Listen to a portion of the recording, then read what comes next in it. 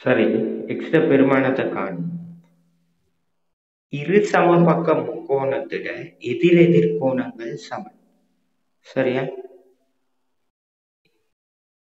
இது இரு சமபக்க முக்கோணம் இந்த கோணம் எக்ஸ் இந்த கோணம் எக்ஸ்னா முக்கோணம் ஒன்றை நீட்டி பெறப்படும் புறக்கோணம் அகத்தெதிர் கோணங்களோட கூட்டுத்தொகைக்கு சமம். இந்த எக்ஸ் எக்ஸ கூட்டினா இது ரெண்டு எக்ஸ் சரியா? இந்த கோணம் ரெண்டு எக்ஸ் இதுவும் இரு சமபக்க முக்கோணம். இது ஐம்பது பாகை. இந்த முக்கோணத்துக்கு சமன்பாடு போடுங்க. ரெண்டு எக்ஸ் சக நூறு சமன் நூற்றி எண்பது.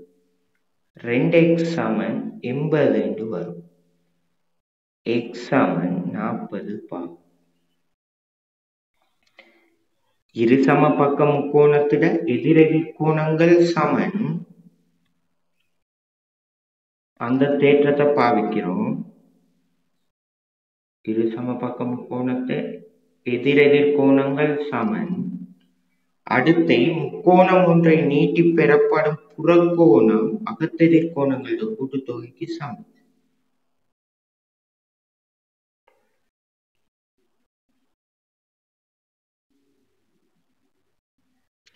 எக்ஸாம் பேப்பர்ல இப்படி படத்துல குறிச்சு வச்சுட்டு வந்தா உங்களுக்கு ஒரு மார்க்ஸ் தருவோம். விடைய கண்டுபிடிக்கலாம் இதை ட்ரை பண்ணுங்க.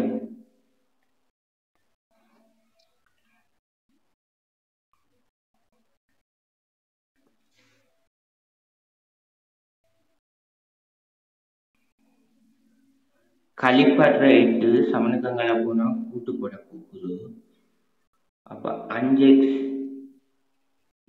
அஞ்சு கீழே சமன் பத்து. எக்ஸ் போயிட்டு சமணக்கங்களை பெருக்க போகுது. அப்போ பத்து எக்ஸ் பெருக்கிற பத்து சமனுக்கு வந்து பிரிக்க போகுது. அப்ப எக்ஸ் சமன் அஞ்சின் கீழ் பத்து. இந்த பின்னத்தை சுருக்கலாம். ஒன்றின் கீழ் ரெண்டு. எக்ஸ் சமன் ஒன்றின் கீழ் ரெண்டு. கழிக்கிற எட்டு சமனுக்கங்களை போய் கூடுபட்டா பத்து அஞ்சின் கீழ் எக்ஸ் சமன் பத்து. பிரிக்கிற எக்ஸ் அங்கால போயிட்டு பெருக்கும். பத்து எக்ஸ் சமன் அஞ்சு. அப்போ ஒரு எக்ஸ் ஒன்றின் கீழ் ரெண்டு.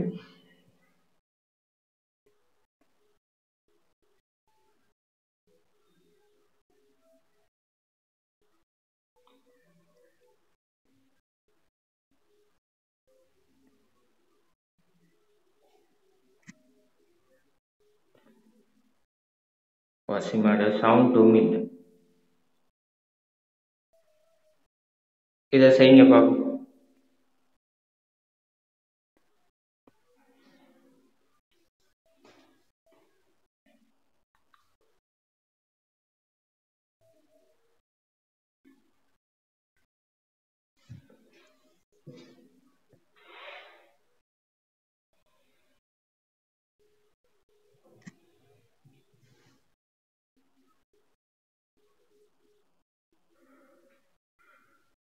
பார்ப்போம் இப்பதான் ஒருத்தன் எலும்பி பாரு.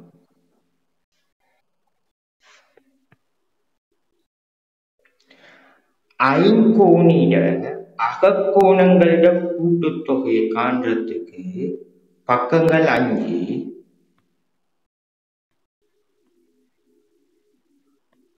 பக்கங்கள் ஐந்து.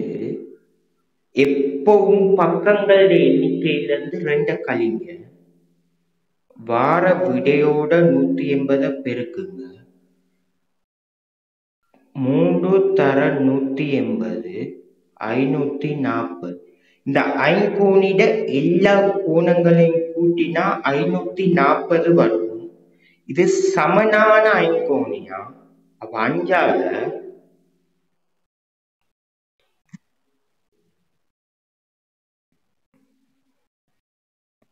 ஐநூற்றி நாற்பதை அஞ்சால பிரித்தா நூற்றி எட்டு பாகை ஐங்கோணித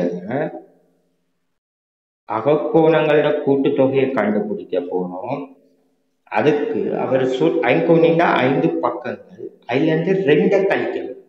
அரங்கோணிண்டா ஆறுல இருந்து ரெண்டை கழிக்கணும். தசகோணிண்டா பத்துல இருந்து ரெண்டை கழிக்கணும். தர நூத்தி எண்பதால பெருக்கினீங்கன்னா அகக்கோணங்களின் கூட்டுத்தொகை வரும். இப்ப கண்டுபிடிச்சிட்டோம். இந்த ஐங்கோணிட ஒவ்வொரு கோணங்களும் இந்த கோணம் எல்லாம் கூட்டினா வரப்போற ஆன்சர் ஐநூத்தி நாற்பது எல்லாமே சமனா? இப்ப அஞ்சால பிரிச்சோம்னா இந்த கோணங்கள் எல்லாமே நூத்தி எட்டு பாகும். இந்த கோணங்கள் எல்லாமே நூத்தி எட்டு பாகும். முதலாவது வேலை முடிஞ்சு.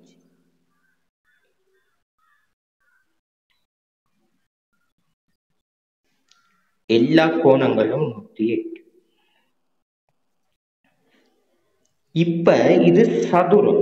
சதுரத்தை எல்லா கோணங்களும் எத்தனை பார்க்கணும் தொண்ணூறு. இது தொண்ணூறு. சரியா? மொத்தமா இந்த கோணம் சரியா நூத்தி எட்டு. இவர் தொண்ணூறு.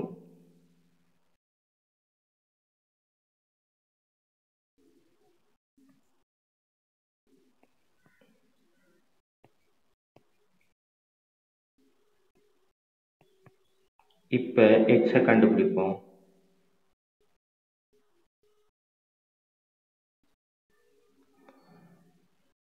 இதுதான் எக்ஸ் இருக்கிற இடம். இது தொண்ணூறு இது நூத்தி எட்டுண்டா இந்த இருக்கு இந்த கோணம் எத்தனை பாகை? நூத்தி எட்டுல இருந்து தொண்ணூற கழிச்சிங்கன்னா பதினெட்டு பாகை. இந்த கோணம் பதினெட்டு பாகை. இந்த இருக்கு இந்த கோணம் பதினெட்டு பாகை.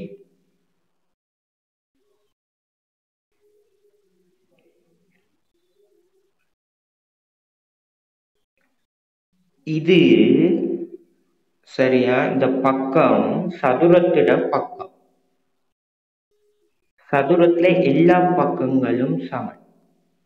அதான் ஒழுங்கான சதுரம். சதுரம்னா எல்லா பக்கங்களும் சமம். அதே நேரத்துல இது ஒழுங்கான ஐங்கோணி எல்லா பக்கங்களும் சமம்.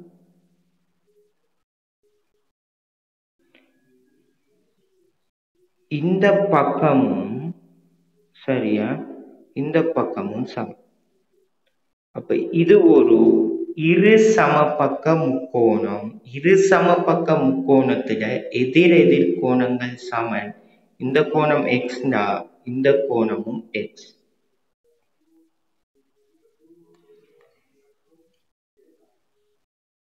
இரு சமபக்க முக்கோணம்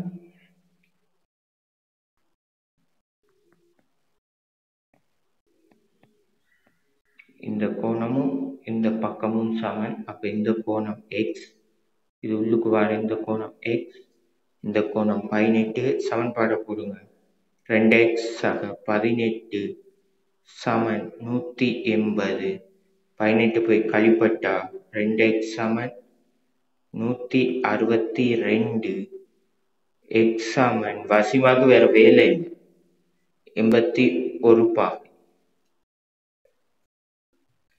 எக்ஸ் சமன் எண்பத்தி ஒரு பாகை.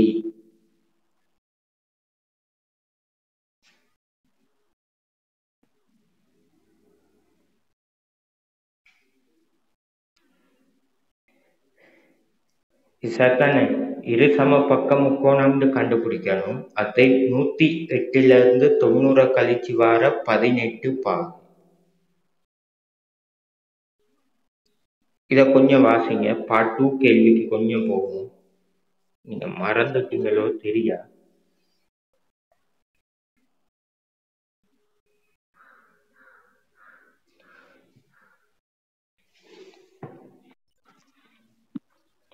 எப்பவும் பின்னம் பின்னம் வாரத்துக்கு முன்னுக்கு அந்த பொருள் முழுமையா இருக்கு. அதாவது ஒன்று வீட்டுக்கு கொண்டு வர பான் உண்டு கேக் உண்டு. அதுக்கு பிறகுதான் அதை பிரிச்சு பங்கேற்றோம் ஒரு முழு பெருமானத்தை சமனா பிரித்து தான் பின்னா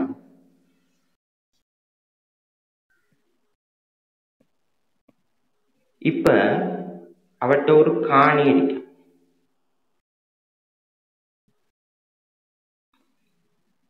படத்துல செய்யறேன் கவனிங்க. பிறகு கேள்வியா செய்வோம். ஒரு காணி அத அறவாசியா பிரிக்கிறார். பிரித்து மனைவிக்கு கொடுக்கிறார். சரியா? மனைவிக்கு கொடுக்கிறார். மனைவிக்கு வழங்கிய பின் காணியில் என்ன பின்னம் எஞ்சியது இதுதான் எஞ்சிய பகுதி. ரெண்டில் ஒன்று மிச்சம் மனைவிக்கு கொடுத்த பிறகு அவர்கிட்ட எஞ்சி இருக்கிறது ரெண்டில் ஒன்று திருப்பி சொல்றான் மிகுதி. மிகுதியா இருக்கிற காணிய புள்ளிகள் மூணா பிரிக்கிறார் மிகுதியா இருக்கிற காணிய மூண்டா பிரிக்க போறார் இதுதான் மிகுதியா இருக்கிற காணிய மூண்டா பிரிக்கிறார் மிகுதியாக உள்ள காணிய மூண்டா பிரிச்சு ஒரு பங்கு யாருக்கு கொடுக்கிறாருன்னா மகனுக்கு கொடுக்குறாரு. இத மகனுக்கு கொடுக்கிறார்.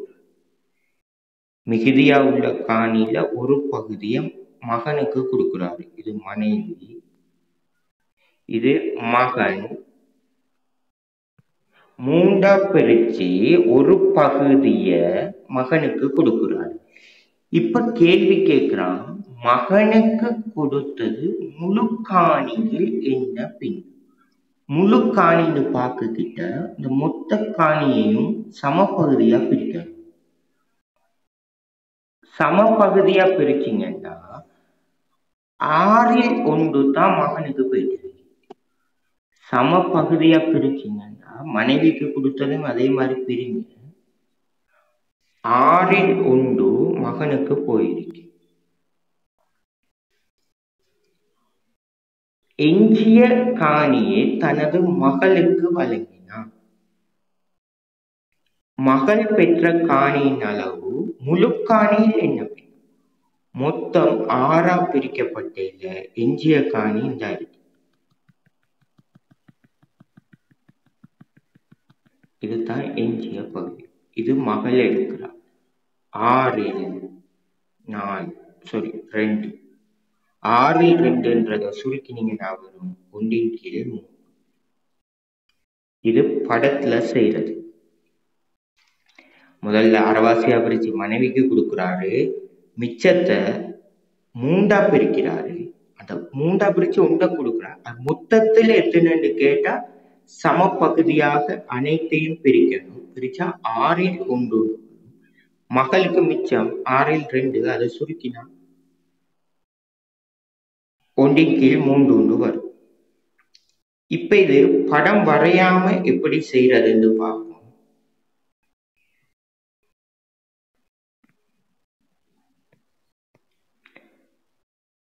அவரை காணி ஒன்று. அது அறவாசி மகளுக்கு போயிட்டு.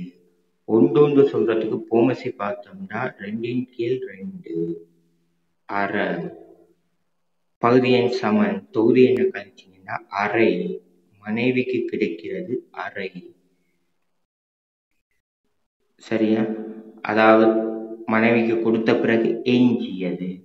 அவற்றை இப்ப எஞ்சி இருக்கிற காணி அறை. அந்த அறையையும் இங்க சொல்றாரு. மிகுதின்ற ஒரு வசனம் வந்தா இங்க பெருக்கல் வரணும். மிகுதி காணி எத்தனையா பிரிக்கிறாரு? ஒன்றின் கீழ் மூன்று. ரெண்டையும் யோசிக்காம பெருக்குங்க. அவட்ட எஞ்சியதையும் இங்க அவர் எஞ்சியதில் சொல்றதையும் பெருக்குங்க. ஒன்றின் கீழ் ஆறு. அப்ப மகனுக்கு கிடைக்கிற காணி ஒன்றின் கீழ் ஆறு. இப்ப அவரு அவரை காணிட அரவாசிய மனைவிக்கு கொடுத்துட்டாரு. ஆறில் உண்ட மகனுக்கு கொடுத்துட்டாரு. ரெண்டையும் கூட்டுங்க. கூட்டினா ஆறு மேல் நாலு வந்து வரும். இதை சுருக்கினீங்கன்னா மூணின் மேல் ரெண்டு. அவட்ட மூணு காணி இருந்தா ரெண்டு காணிய கொடுத்துட்டாரு. சரியா? மூணு காணி துண்டு இருந்தா ரெண்டு காணி கொடுத்தும் மிச்சம் எவ்வளவு இருக்கு? மூணுல ரெண்டு போய் கொடுத்துட்டாரு. அவர்கிட்ட இருந்தது ஒரு காணி அதுல மூணில் ரெண்டு போயிட்டு மூணின் மேல் மூன்று ஒன்றின் கீழ் மூன்று. மனைவிக்கு வழங்கிய பின் எஞ்சிய காணி ஒன்றின் கீழ் ரெண்டு மகனுக்கு கொடுத்தது ஒன்றின் கீழ் ஆறு. அவற்றை எஞ்சிய காணி மகளிர் கொடுக்கிறாரு. ஒன்றின் கீழ் மூன்று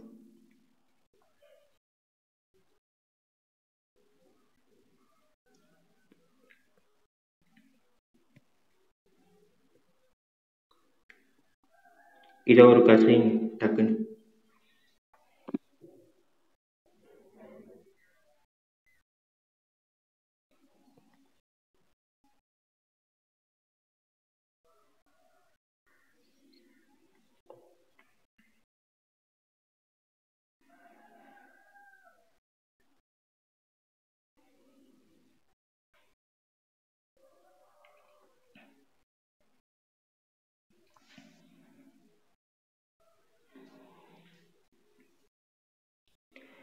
உங்களுடைய வீடுகள் டவுன் ஏரியாவில் இருந்தா நீங்க நகர சபைக்கு வரி கொடுக்கணும்.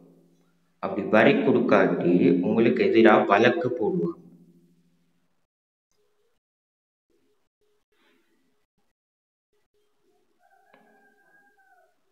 இப்ப நகர சபை டவுன் ஏரியாவில் இருக்கிற ஒரு வீடு நாற்பதாயிரம் முடிவு பண்ணியிருக்கிறாங்க. அதுக்கு வருஷத்துக்கு நாலு சதவீத வரி கட்டணும். சரியா? அந்த வீடு நூறு ரூபாவா இருந்தா நாலு ரூபா வரி கொடுக்கணும். இப்ப அந்த வீட்டோட பெருமதி நாற்பதாயிரம். அந்த வீட்டு உரிமையாளர் கட்ட வேண்டிய வரி நாலு தர நானூறு ஆயிரத்தி அறுநூறு சரியா? நூறு ரூபாய்க்கு நாலு ரூபா வரி கட்டணும். அந்த வீட்டை பெறுமதி நாற்பதாயிரம் ரூபாய் அப்ப அவர் கட்டணும். ஆண்டுக்கு ஆயிரத்தி அறுநூறு ரூபாய் இப்ப ஆயிரத்தி அறுநூறு ரூபாய் கட்டுறதுக்கு வசதி இல்லாம அப்ப அவருக்கு நகரசபை ஒரு சான்ஸ் கொடுக்குது. காலாண்டு காலாண்டுன்னு சொல்றது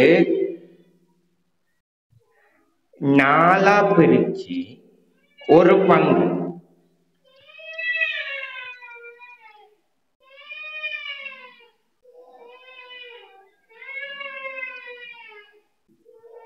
நாலா பிரிச்சு ஒரு பங்கு. சரியா? ஆயிரத்தி அறுநூறு ரூபாவை நாலா பிரிச்சு சரியா? ஒரு பங்க காலாண்டுக்கு அவர் கட்டணும். காலாண்டுன்னு சொல்றது நாலா பிரிச்சு ஒரு பங்கு. வருஷத்துக்கு கட்டுறதுக்கு வசதி இல்லாத ஆட்கள் மூன்று மாசத்துக்கு ஒருக்கா ஒருக்கா கட்டலாம். அப்படி கட்டுற தொகை தான் காலாண்டு இறைவரி. இப்ப நாலால இதை பிரிச்சாங்கன்னா நானூறு அப்ப அவரு மூணு மாசத்துக்கு ஒருக்கா போய் நானூறு ரூபா நானூறு ரூபா நானூறு ரூபான்னு கட்டணும். அப்ப காலாண்டு இறைவரி நானூறு ரூபாய்.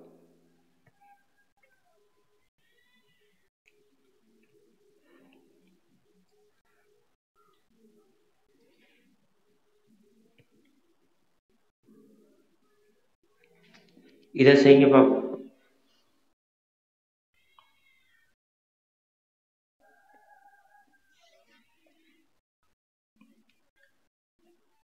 இவர் கடன் வாங்கிட்டு வராரா? நூறு ரூபாய்க்கு மூணு ரூபா வட்டி நூறு ரூபா வந்தா மூணு ரூபா கட்டணும். இப்ப நாற்பதாயிரம். சுருக்கினோம்னா ஆயிரத்தி இருநூறு ரூபாய். ஒரு வருஷத்துக்கு கட்ட வேண்டிய வட்டி ஆயிரத்தி இருநூறு ரூபாய். ரெண்டு வருஷத்துக்கு எவ்வளவுன்னு கேட்கிறான் ரெண்டு தர ஆயிரத்தி இருநூறு ரூபா.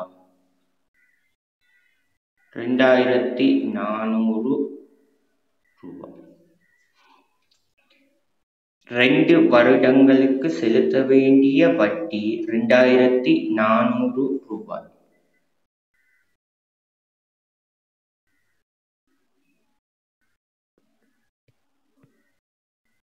இதை ஒரு ட்ரை பண்ணுங்க.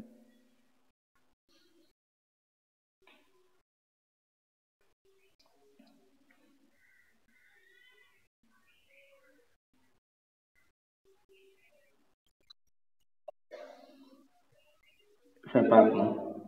இந்த இருக்கு இந்த கோணம் எத்தனை பாவைண்டா? ஒரு நேர்கோடு நூத்தி எண்பது அதுல இருந்து நூத்தி ஐம்பதை கழிச்சா முப்பது பாகை. இந்த கோணம் முப்பது. முக்கோணம் ஒன்றை நீட்டி பெறப்பட்ட புறக்கோணம்னா எக்ஸ் அகத்தெதிர் கோணங்களோட கூட்டுத்தொகைக்கு சமன். முக்கோணம் ஒன்றை இப்படி நீட்டி ஒரு கோணம் வந்தா இந்த ரெண்டு கோணத்தை கூட்டுத்தொகைக்கு சமன் அப்ப முப்பதும் இருபதும் எக்ஸாமன் ஐம்பது பா. மாறி மாறி இதுதான் மூலவலுக்கு வருது. இந்த அகத்தெதிர் கோணங்கள் புறக்கோணத்துக்கு சமன்.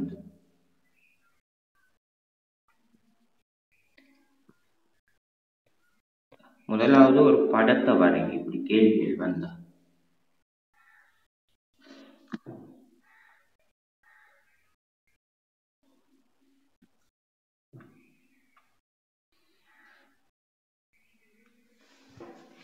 இதுக்கு நீங்க பாடம் படிக்கணுன்ற அவசியமே இல்லை. வலை பரப்பளவு என்பது. மொத்தமா இவர பரப்பளவு சரியா? மொத்த பரப்பளவு ஆயிரத்தி எட்நூத்தி எண்பத்தி எட்டு.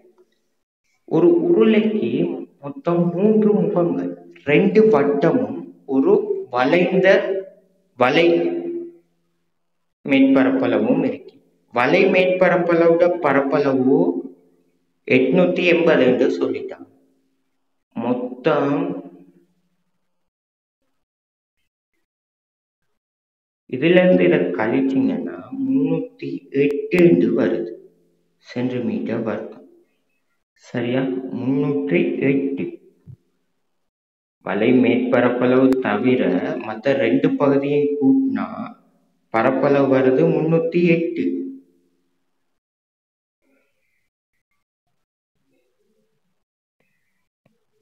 இது என்ன வடிவம்? வட்டம்.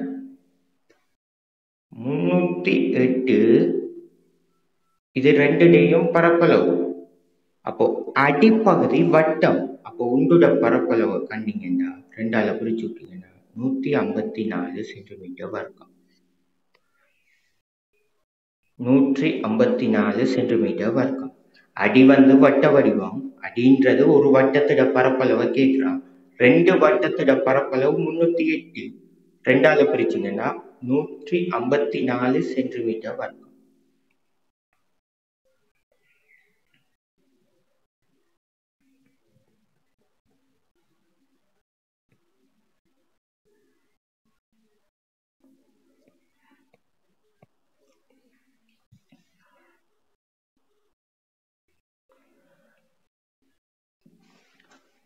பதினைந்து மாணவர்களுக்கு இருபது நாட்களுக்கு போதுமான உணவு இருக்கா? நீங்க இப்ப கண்டுபிடிக்கணும். ஒரு மனிதனுக்கு இங்க இருக்கிற உணவு எத்தனை நாட்களுக்கு போதும்? ஒன்றை உண்டால பெருக்கி விடுங்க. முன்னூறு மாணவ உணவு கொண்டு வரும் உணவு நாட்கள் மாணவ நாட்கள் இதுவர். வரும் அதாவது ஒரு மாணவன் சரியா? இந்த உணவை சாப்பிட்டாண்டா முன்னூறு நாட்களுக்கு போதும். முன்னூறு மாணவர்கள் வந்தா ஒரு நாள்ல முடிப்பாங்க இந்த உணவு. இதைத்தான் கண்டுபிடிக்கிறீங்க இப்ப. ஒரு மாணவன் வந்தா முன்னூறு நாள் சாப்பிடுவோம். முந்நூறு மாணவர்கள் வந்தா ஒரு நாள்ல உணவை முடிப்பாங்க. முந்நூறு மாணவ நாட்களுக்கு உணவு இருக்கு. இந்நிலையில் ஐந்து மாணவர்கள் லீவ்ல போறாங்க. ஏற்கனவே பதினஞ்சு பேர் இப்ப பத்து பேர். முன்னூறு மாணவ நாட்களுக்கு உணவு இருக்கு. பத்து பேர் தான் இருக்கிறாங்க.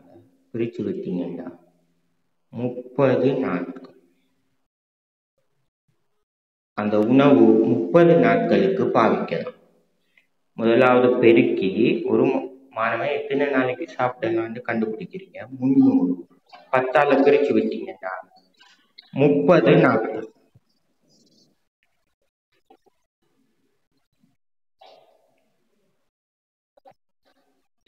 மைக் ஓபன் பண்ணிட்டு செய்யுங்க சரி. இதுவும் பதினோராம் வகுப்பு கேள்வி. சும்மா லைட்டா விளங்கிக்கோங்க. ஆனா பத்தாம் வகுப்பு தேற்றம். பதினோராம் வகுப்பு வினா பத்தாம் வகுப்பு தேற்றம்.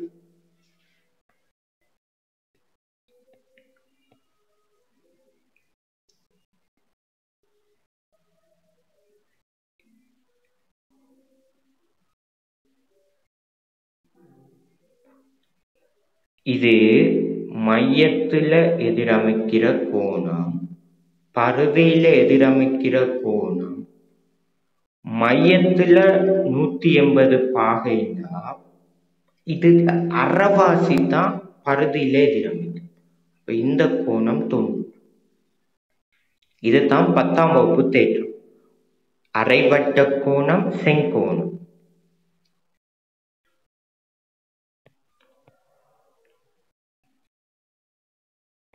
இப்ப கவனிங்க இந்த முக்கோணத்தை எடுங்க.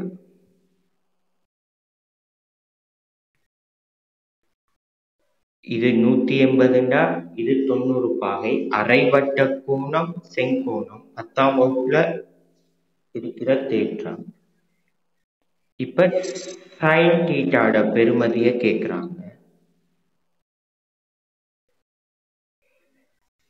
சைன் சொல்றது எதிர்பக்கம் அந்த முக்கோணத்திட செம்பக்கம் எதிர்பக்கம் வந்து சைன் டீட்டா எதிர்பக்கம் ஏசி இந்த கோணத்துக்கு எதிர்பக்கம் ஏசி செங்கோணத்துக்கு எதிராக இருக்கிறது செம்பக்கம். செம்பக்கம் வந்து பிசி அப்ப சைன் விகிதம் ஏசியின் கீழ் பிசி ஏசியின் கீழ் பிசி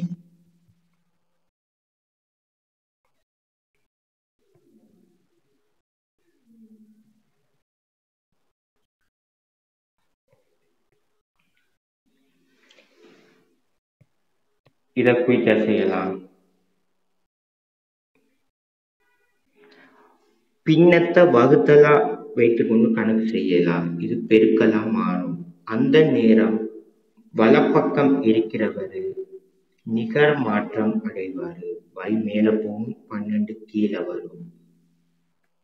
இந்த வையையும் இந்த வையையும் விட்டலாம் நாலால சுருக்கினா ரெண்டு இதை நாலால சுருக்கினா மூன்று.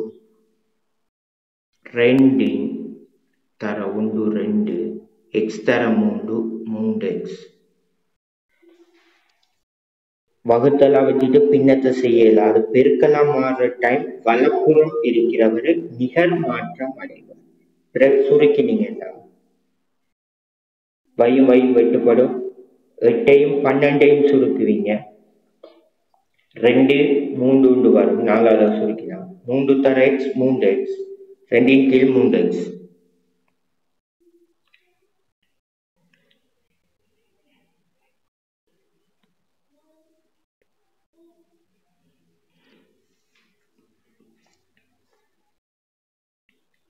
இடை படிக்கணும். அதுக்கு முன்னுக்கு இந்த சமன்பாடை ஞாபகம் வச்சுக்கோங்க.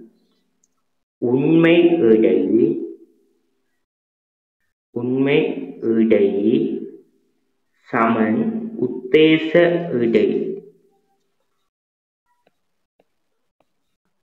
உண்மை இடை சமன் உத்தேச இடை சக விலகல். உண்மை இடை சமன் உத்தேச இடை சக இதுதான் சமன்பாடு. ஆ பரம்பல்ட இடைன்னு சொல்றது உண்மை இடை நாற்பத்தி அஞ்சு. எடுக்கொண்ட இடை முப்பத்தி எட்டு. விலகல் டீன்னு சொல்லுவோம் குறியீட்டுல டீய கண்டுபிடிக்க போறோம். நாற்பத்தி அஞ்சு சய முப்பத்தி எட்டு. டி சமன் ஏழு வரும். உண்மை இடை சமன் உத்தேச இடை அல்லது எடுக்கொண்ட இடைன்னு சொல்லுவோம். சக விலகல் சமன்பாடு. உண்மை இடை வந்து நாற்பத்தி அஞ்சு உத்தேச இடை முப்பத்தி எட்டு சக டி டீன்றது விலகல் இந்த விலகலை தான் கண்டுபிடிக்க போறோம். கூட்டுப்படுற முப்பத்தெட்டு இங்கே வந்து சமனுக்கு இங்கே வந்து கழிப்பட்ட டி சமன் ஏழு என்று வரும். இந்த சமன்பாடை மட்டும் ஞாபகம் வைங்க. கணக்கு செய்யக்கிட்ட அது கிளியர் ஆகும்.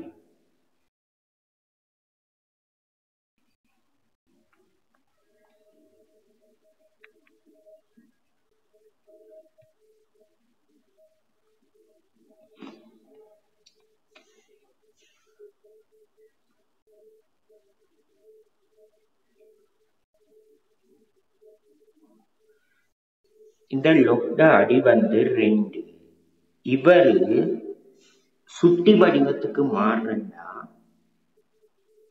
பெருமானம் இருக்கே சமனுக்கு அந்த புறம் இருக்கிற பெருமானத்தை போய் தூக்கி விடும் அந்த நேரத்துல லொக் இல்லாமல் போகும் அப்ப எக்ஸ் மடக்கைய சுட்டி வடிவத்துக்கு மாத்துறதுக்கு அடி போய் விடைய தூக்கி விடும் இந்த ரெண்டு போய் மூன்று மேல தூக்கி விடும் அப்ப ரெண்டின் மூன்றாம் சுட்டின்னு சொல்றது ரெண்டு தர ரெண்டு தர ரெண்டு. பெருக்கினீங்கன்னா எட்டு. எக்ஸ் பெருமானம் எட்டு. எக்ஸுடைய பெருமானம் எட்டு அடி போய் விடைய தூக்கி விடுவார்.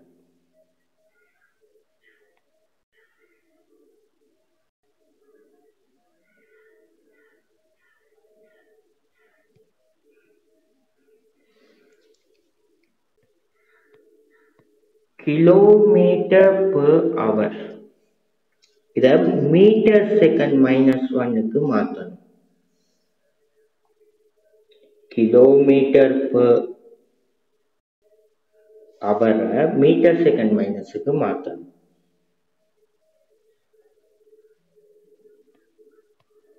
முப்பத்தி ஆறு கிலோமீட்டர் சுட்டி மைனஸா இருக்கின்றா? அதை பிளஸ் ஆக்குறதுக்கு பகுதி என்ன இல்லை? சரியா? முப்பத்தி ஆறு கிலோமீட்டர்னு சொல்றத மீட்டருக்கு மாத்துறதுக்கு ஆயிரத்தால பெருக்கு ஒரு மணித்தியாலம் வந்து அதுக்குள்ள எத்தனை செகண்ட் இருக்கின்றா? நிமிடத்துக்குள்ள அறுபது மணிக்குள்ள நிமிடம் அறுபது. அப்ப அறுபது தர அறுபது. அறுபது தர மணித்தியாலத்துக்குள்ள இருக்கிற செகண்ட் அறுபது தர அறுபது. பெருக்கினீங்கன்னா மூவாயிரத்தி அறுநூறு. இந்த ரெண்டு சைஃபரையும் இதால சுருக்குவீங்க. ரெண்டால சுருக்கினா அஞ்சு கீழே பதினெட்டு. இதுக்கு ஒரு இலகுவான சமன்பாடு வருது அஞ்சின் கீழ் பதினெட்டு.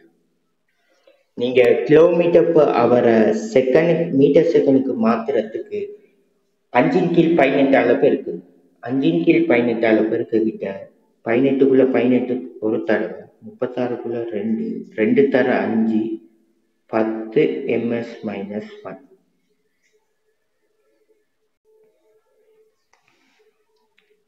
அதாவது கிலோமீட்டர் பர் ஹவர்ன்றது பத்து மீட்டர் செகண்ட் மைனஸ் ஒன் அதாவது ஒரு செகண்டுக்கு பத்து மீட்டர் போகும். இப்ப ஒன்று கவனிங்க. பத்து மீட்டர் செகண்ட் மைனஸ் ஒன்னு கிலோமீட்டர் இப்போ அவருக்கு மாத்துறேன்டா மாத்தி பெருக்கு பதினெட்டின் கீழ் அஞ்சால பெருக்கு. இதையும் இதையும் சுருக்கினா ரெண்டு வரும். ரெண்டு தர பதினெட்டு முப்பத்தி ஆறு வரும் கிலோமீட்டரை மீட்டர் செகண்ட் மைனஸுக்கு மாத்துறதுக்கு கிலோமீட்டர் பர் அவரை மீட்டர் செகண்ட் மைனஸ் ஒன்னுக்கு மாத்துறதுக்கு அஞ்சின் கீழ் பதினெட்டால பெருக்கினா சரி.